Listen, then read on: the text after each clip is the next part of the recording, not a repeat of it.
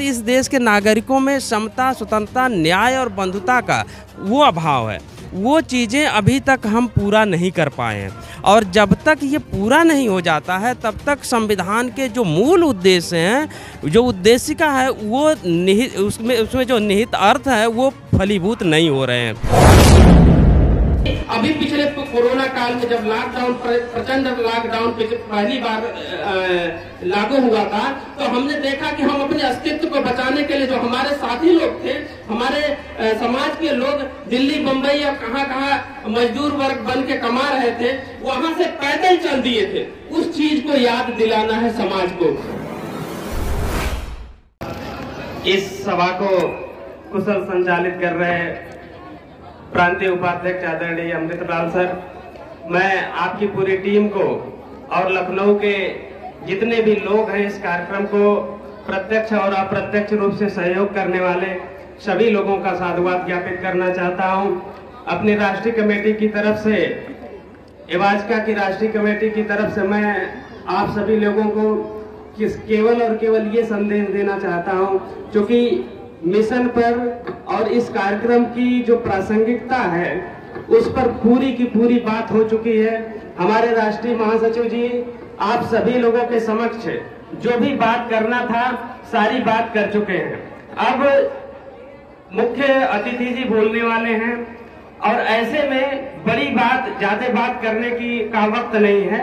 सिर्फ़ और सिर्फ़ मैं ये कंक्लूजन के तौर पर आप सभी लोगों को बताना चाहता हूँ कि हम सभी लोग भारत के नागरिक सन उन्नीस सौ उनचास में 26 नवंबर उन्नीस सौ उनचास को जो संकल्प लिए थे उस संकल्प को मैं आप सभी लोगों को याद दिलाना चाहता हूँ।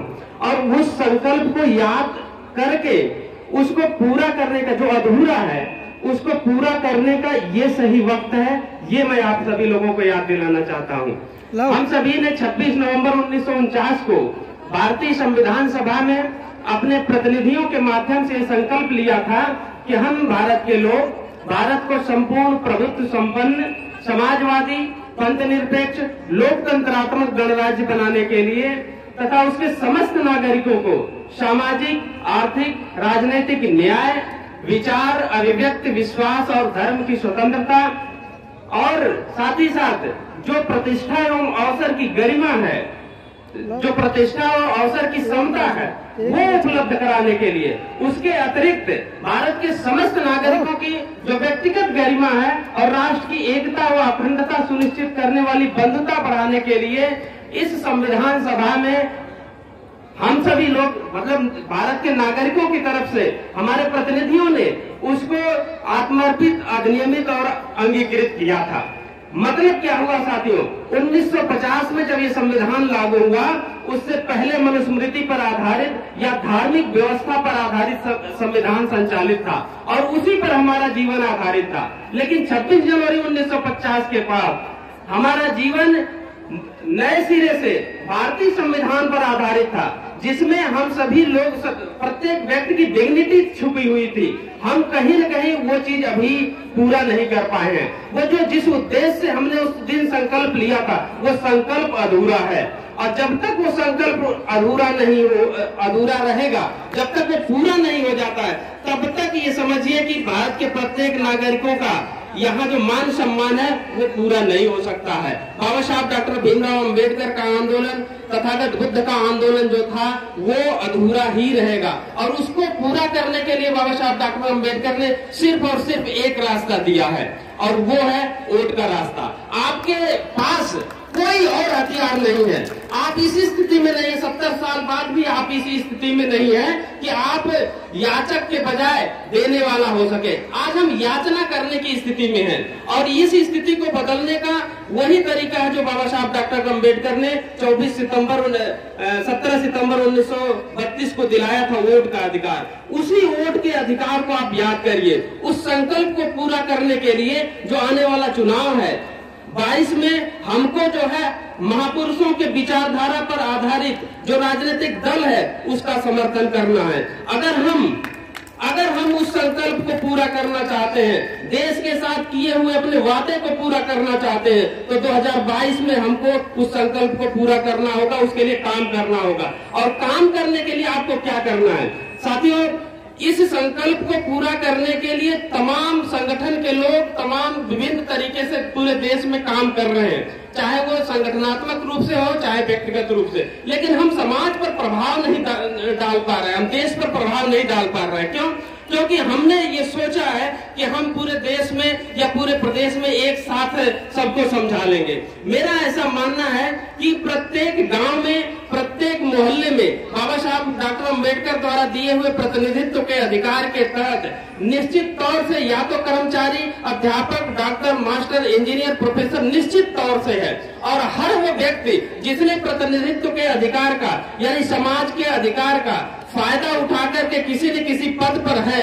उसका इस समय दायित्व है कि वो किसी न किसी एक गाँव का, किसी न किसी एक गाँव का चयन कर ले और उसी गाँव में आने वाले 50-60 दिनों में काम करे। हमारा काम यह होना चाहिए कि हम 20 से 25 वोट अपने राजनीतिक दल जिसको हम समर्थन कर रहे हैं, उसके पक्ष में दिला लें। आप लोग छोटी छोटी गणित से हम वो सारा चीज़ कर सकते हैं। साथियों एक विधानसभा में 400 के आसपास बूथ होते हैं और पिछले विधानसभा चुनावों के आप रिकॉर्ड उठा करके देखेंगे तो हर विधानसभा में आप देखे होंगे कि चार से पाँच हज़ार की वोट वोट मार्जिन से हम हारे हैं। अगर हम उस चार से पाँच हज़ार वोट को लेना चाहते हैं तो प्रत्येक बूथ पर 20 से 25 वोट हमको बढ़ा देना है, अपना वोट कहीं आने, जाने नहीं देना एक एक काम छोटा सा काम हम कर ले तो ये काम कर सकते अंतिम बात कहते हुए मैं अपनी बात समाप्त कर रहा हूँ कि अभी पिछले कोरोना काल में जब लॉकडाउन प्रचंड लॉकडाउन पहली बार लागू हुआ था तो हमने देखा कि हम अपने अस्तित्व को बचाने के लिए जो हमारे साथी लोग थे, हमारे समाज के लोग दिल्ली बम्बई या कहाँ कहाँ मजदूर वर्ग बन के कमा रहे थे, वहाँ से पैदल चल दिए थे। उस चीज़ को याद दिलाना है समाज को। और उसी समाज को ये कहना है कि जिस तरीके से अपने अस्तित्व को बचाने के लिए आप पैदल हज़ारों किलोमीटर की यात्रा किए हैं, उसी तरीके से 2022 और 24 के चुनाव में अपने अस्तित्व, अपने बच्चों के अस्तित्व और अपने जो संविधान है, उसको बचाने के लिए आप वहाँ से आओगे, वोट डाल के फिर कहीं जाओगे। अगर वो नहीं मानते हैं तो आप सभी लोग जो पे बैक टू सोसाइटी है, उसके तहत एक महीने का पे बैक टू सोसाइटी कर देंगे, उनके पास किराया भाड़ा हो जाएगा वो आपके गाँव आएँगे अपने गाँव आएँगे वोट डाल के जाएँगे। निश्चित तौर से हम जीतेंगे लेकिन आप सभी को इस सेमिनार की प्र, जो प्रासंगिकता है उद्देश्य है तभी स्थापित हो पाएगा जब हम 2022 में सरकार बना लेंगे साथियों। इसी संदेश के साथ आप सभी लोगों को सब्सक्राइब करें आपके अपने चैनल समतावाज टीवी को बेल आइकन दबाना ना भूलें। सबसे पहले हमारी वीडियो देखने के लिए। सब्सक्राइब करें आपके अपने चैनल समतावाज टीवी को। बेल आइकन दबाना ना भूलें। सबसे पहले हमारी वीडियो देखने के लिए। सब्सक्राइब करें आपके अपने चैनल समतावाज टीवी को। बेल आइकन दबाना ना भूलें। सबसे पहले हमारी वीडियो देखने के लिए। सब्सक्राइब करें आपके अपने चैनल समतावाज टीवी को। बेल आइकन दबाना ना भूलें। सबसे पहले हमारी वीडियो देखने के लिए।